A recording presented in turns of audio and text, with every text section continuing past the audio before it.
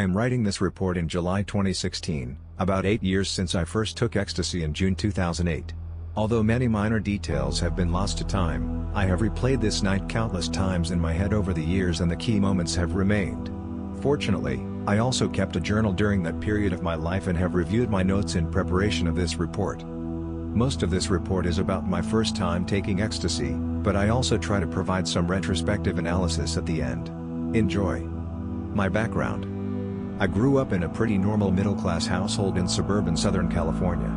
Both of my parents did not drink, smoke, or do other drugs, and were overall very supportive of my interests. My main focus in life was doing well in school and I never got into any significant trouble.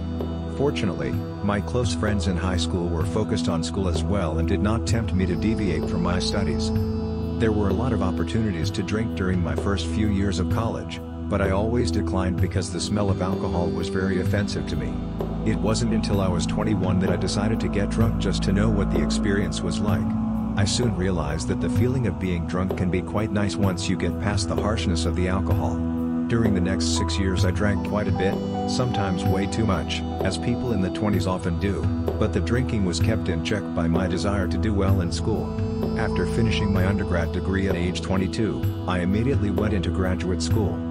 While in graduate school, a couple of my friends would often go to clubs and raves. I knew that they used drugs at these events, but overall I was very ignorant of the entire scene and did not press them for details. I just wasn't interested. The idea of going to clubs was unappealing because I disliked listening to very loud music, had a stereotypical negative view about trance music, and I felt awkward dancing. I also was brainwashed by society to think that all drugs were extremely dangerous and had no potential benefits. Then something inside of me changed when I was 27. I don't know exactly how or why it happened, but I gradually became more curious about mind-altering substances. I found out about smoking salvia through watching YouTube videos and decided to purchase some 10x extract online. The fact that salvia was legal made it much easier for me to try it. If my experience was terrible and I had to be hospitalized, I wouldn't worry about getting in legal trouble. One evening, two friends, who I will refer to as an H, and I smoked the salvia and it was both a thrilling and terrifying experience. For a short while, I was completely unconscious and had scary hallucinations where my world was continuously dissolving before my eyes. But that is a story for another time. Despite my harrowing experience with salvia, I was still curious about other substances. I told NNH that I would be interested in joining them the next time they go to a rave and try ecstasy. Soon after, they let me know about a rave that would change my life. The event, on the day of the rave, N, H, and a few others met at my place around 5 p.m. on a sunny June afternoon. They all were experienced ravers and wore decorative clothing, while I wore plain shorts, a tank top, light jacket, and running shoes. I naively inquired about many things, such as if shorts and running shoes be okay for a rave. At 6 p.m. we got in our cars and drove toward LA. After 45 minutes of surprising smooth LA freeway traffic, we arrived at a hotel about 4 miles from the venue where one of N's friends had a room. We hung out at the hotel room for the next couple hours to pre-party. Both alcohol and cocaine were available, but I declined because I wanted my experience to be pure and I had never tried coke before, one new drug at a time I thought. The only items I consumed at the hotel room were granola bars I brought from home and a lot of water. The rave began at 7 p.m. and I was very eager to get going. I started to get a little frustrated at how long it took us to leave the room, but I trusted that N knew what he was doing. Around 9 p.m., N, H, and I left the hotel and drove closer to the venue to try to find street parking. The last mile near the venue was congested with cars, but after circling the area for a while we were fortunate to find a parking lot for $20. During the 15-minute walk to the entrance, the bass became louder and louder, and my excitement grew and grew. We were joined by many people wearing elaborate outfits, plain clothes, or hardly nothing at all. I had never seen such an assortment of partygoers. It was a very festive atmosphere and I felt like we were headed towards something epic. My optimism quickly turned to frustration when we arrived at the only entrance to the venue. It was a complete clusterfuck. The event staff were channeling thousands of people, many of whom were high or drunk, toward the security checkpoint. There were no barricades to form an orderly line. Instead, we were packed like sardines in a massive 20-person wide line that slowly inched forward. Although June nights are often very cool in Southern California, it was quite warm in the middle of the crowd. Some assholes occasionally would push their way through the crowd to the front and I was surprised that no one got punched. I am normally a very reasonable and nice person, I have never been in a serious fight in my life, but I was reaching my limit. It was a tragedy waiting to happen, if someone would have yelled bomb. Dozens could have been killed in a stampede. N saw my frustration and tried to calm me down. It took us an hour to move the 200 to 300 feet to the security checkpoint. N held all the pills, so I wasn't worried about security.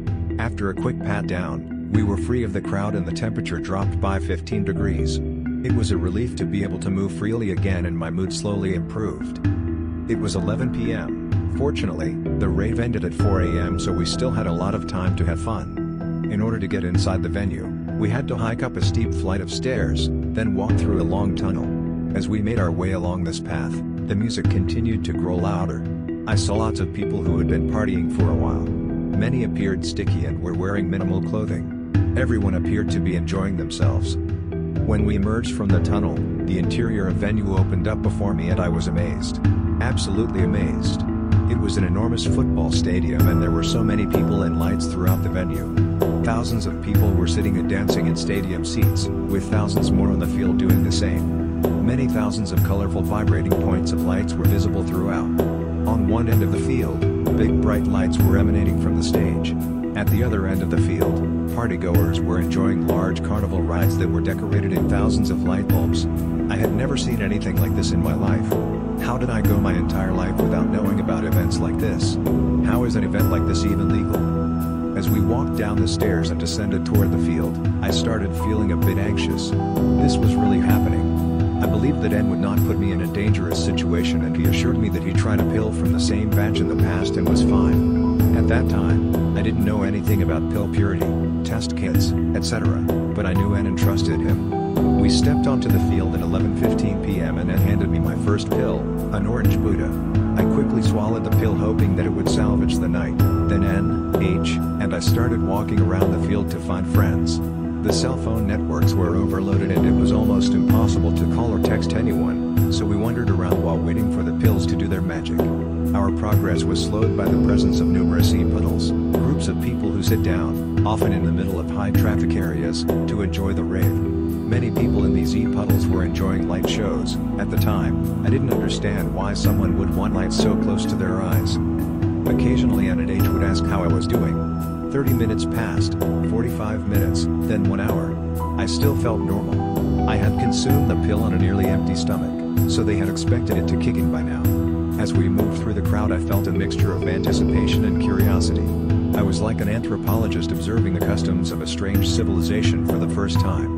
There was a sense of separation from the crowd and I felt like an outsider catching a glimpse of a culture that was not mine. I was not familiar with trance music yet so I did not know any of the DJs or songs. Although I would later love that genre, I was still fairly indifferent to it at that time. At 12.15 am, the first pill still had not kicked in yet, so N gave me another half. Both N and H were already feeling the effects of ecstasy, but I was still lagging behind. Then suddenly, around 12.30 am, it finally hit me. A gentle surge of energy flowed through my chest and I felt lighter. Something had changed. Over the course of few seconds I felt good. Very good. I informed N and H about my sensations, and I started to feel comfortable swaying to the music. In fact, swaying is all I wanted to do. I felt like I was slowly blending in with the other ravers and I suddenly understood why everyone in the crowd was acting in a particular way. The droopy, unfocused eyes, the mouth and jaw in a tense state, the body swaying back and forth, it all made complete sense. I understood why the stage lights were bright and flashing, and why trance music is repetitive, the music and the drug perfectly complemented one another. It was as if a veil had been lifted from my eyes and I could finally see what everyone else was seeing. It was wonderful. I thought of a slogan that I would use often in the years ahead. Everyone at a rave is an asshole, until you drop. N gave me another half pill soon after to make sure that I would be nice and high for the remainder of the rave. From this point onward, my memories are scattered and I cannot remember the exact order of events during 12.30 to 4 am. I saw other ravers without shirts and that seemed like a terrific idea. For an unknown amount of time I bobbed back and forth in place, without a shirt on, rubbing my hair over and over underneath the June night sky. My inhibitions dropped to almost nil and I was completely liberated. N took very good care of me, getting me water and keeping an eye on me. He offered me a menthol cigarette. Which I normally would decline as I really disliked the way cigarettes burn my lungs, but the ecstasy made me willing to try almost anything. I took one puff and was shocked at how easy it was to inhale, it was like breathing air. There was no pain, no coughing. Later, N offered me something to sniff. Based on what happened in the hotel room earlier, I thought it was coke.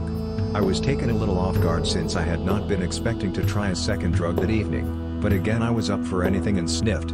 I felt incredible, I instantly felt like I was even higher. Days later I would find out that N had actually given me a menthol stick.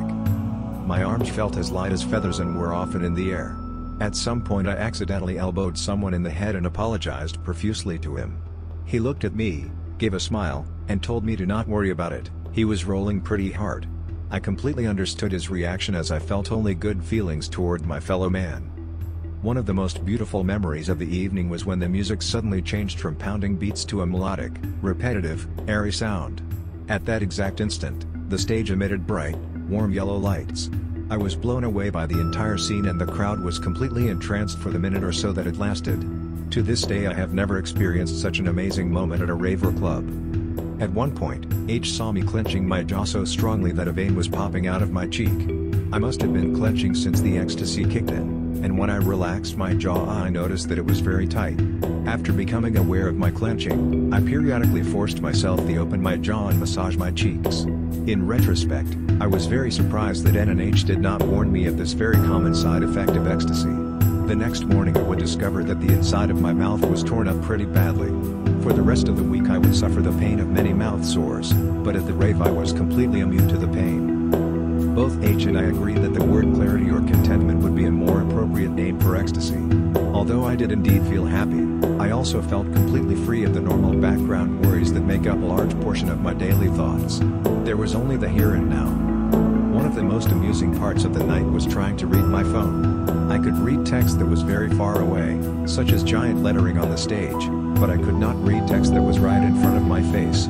A stranger could have offered me a million dollars to read a text message on my phone while I was peeking and I still could not have done it. My eyes simply would not focus, and it reminded me of the shaky visuals in the movie The Butterfly Effect. During our wandering around the stadium, another raver asked H to read a text message on his phone. H laughed and said that she could not read it either. I wanted the rave to last forever, but of course it could. At 4 a.m., the stadium lights were turned on and the disappointment throughout the venue was palpable. Tens of thousands of zombies exited the venue in a slow, orderly fashion. One of the ravers stood on a porta potty and started singing happy birthday to a friend. Myself and hundreds of others happily joined in. There was a faint flow of the morning twilight in the east as we walked along the streets of LA back to the parking lot. We had partied the entire night and I felt like I had participated in something incredible. When we arrived at our car, N said he was fine to drive as he was well into the come down phase and his alertness was very high. I trusted N to drive us home. Erowid note, driving while intoxicated, tripping, or extremely sleep deprived is dangerous and irresponsible because it endangers other people. Don't do it. While sitting in the back seat of the car, I reflected upon the entire experience and felt a tremendous afterglow throughout my entire body. I was both exhausted and excited. Although I could have partied longer, I was also completely satisfied. We returned to my place by 5.30 am and NNH decided to crash there until the afternoon. I stayed up until 9 am talking to H about random topics until she was ready to sleep. I felt like I still wanted to do something. Anything. But decided I should try to sleep as well. I drifted in and out of consciousness for a couple hours, dreaming of the big bright lights. The aftermath. I wanted to go to a rave and drop again as soon as possible. Over the next year and a half, N. H. and I went to almost 10 large raves and went clubbing dozens of times. Every week I followed a predictable pattern, Saturday was for clubbing slash raving, I recovered Sunday through Tuesday, and by Wednesday I could feel the desire to drop building again. I had an insatiable appetite for partying and would research upcoming events frequently online. The thought of using ecstasy again consumed a significant fraction of my daily thoughts. I craved the feeling of freedom and euphoria. I was hooked. There were two influences in my life that kept me in from completely going over the deep end. First, I was finishing up grad school and could not afford to do any more partying than I already was doing. Second, my girlfriend would not have tolerated it, I was already pushing it. I became obsessed with trance music and soon it became the only music that I enjoyed listening to. I voraciously devoured as much music as possible, listening to multiple podcasts per week. A State of Trance and Trance Around the World were my favorite, and older trance albums on YouTube. I became interested in DJing and bought a mixer, which I practiced for countless hours at home. I started to get decent and even DJed at a club. By early 2010, my friends and I gradually started leaving the raving and clubbing scene. The magic was fading and I was getting older with more responsibilities. During the next couple of years, I noticed that I felt more and more out of place and no longer enjoyed the clubbing slash raving experience. It became harder to stay energized late into the evening and there was a feeling of been there, done that. As I write these words, it is now 2016 and I no longer have a desire to go to a rave or go clubbing. Every once in a while I will feel like having one last hurrah, but inevitably I will come to regret it when at the venue. I am not sad about this, I simply feel that I have moved on to other things in my life. However, this does not mean my relationship with ecstasy has ended. Nowadays, I take ecstasy once every 3 to 6 months with friends, but usually at home where I can be comfortable. I have a successful career and I cannot afford to do it more frequently because the recovery period would impact my work. Reflections I look back on my first time taking ecstasy mostly with nostalgia, it was one of the most incredible moments of my youth and I will keep the memories of that night close to my heart until senility or death take them away from me. At the same time I also view that night with a slight tinge of uneasiness because I know it led to a year and a half of excessive partying with unknown long-term consequences for my health. Since that magical night 8 years ago, I have thought a lot about my ecstasy use and would like to share my reflections. 1. You never know which drug will sink its teeth into you until it is too late. I was perfectly fine before trying alcohol and ecstasy, but once I tried those drugs I spent a long time overindulging. In fact, I still struggle with alcohol use even today, although I do not believe my alcohol consumption is impacting my work and relationships significantly, I still feel like I drink too much. In contrast, I have tried cocaine, marijuana, mushrooms, LSD, and ketamine during the past 8 years without a compulsion to overindulge. Coke and weed have not been very interesting to me. Mushrooms and LSD have been very interesting, and ketamine with ecstasy can be amazing, too amazing. However, I probably could go my entire life without ever trying those five drugs again and be perfectly happy. I struggled to keep my ecstasy use under control and was lucky that I had other factors in my life that kept me from going over the edge. If I have kids one day, I plan on telling them to be very careful before they take any drug as you never know what drug you could become addicted to. 2. Ecstasy showed me what it is like to live completely in the moment without worrying about the past or future. It also made realize that all great feelings will eventually fade, the peak will not last forever, and that all bad feelings will eventually pass, the come down will not last forever either. 3. Ecstasy helped me get out of my social shell. I am now much more comfortable meeting new people. 4. I now realize what it is like to be addicted to a drug. Although it did not ruin my life, I could imagine scenarios in which I would have gone off the deep end.